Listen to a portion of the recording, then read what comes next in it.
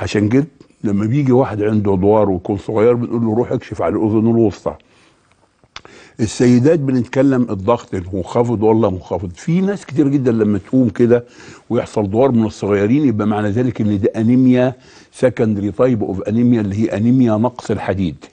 وللأسف إن أنيميا نقص الحديد دي بيتصاب بيها بناتنا أكتر عشان وانهم بيفقدوا دم في الدورة الشهرية. عشان كده سبحان الله رب العزة جعل إن الرجال نسبه الهيموجلوبين بتاعتهم من 14 ل 16 الطبيعية السيدات من 12 ل 14 لكن في ناحية مهمة جدا قلنا كل ده نظام غذائي.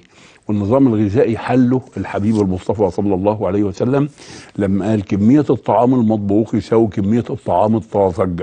والكلام ده اتكلمنا فيه وعلى فكرة يعني كررناه مع حضراتكم تكرار كبير جدا وقلنا عشان تنتظم حركة الحياة وينتظم الإنسان وينتظم الإنسان في مراحله المختلفة آه لابد إن كمية الطعام المطبوخ كمية الطعام الحار تساوي كمية الطعام الطازج اللي سيدنا رسول الله تكلم عنها ونهى عن الجمع بين حرين في طعام واحد وبين بردين في طعام واحد اللي اندريا ويل حط لها باب من الأبواب المهمة في التغذية.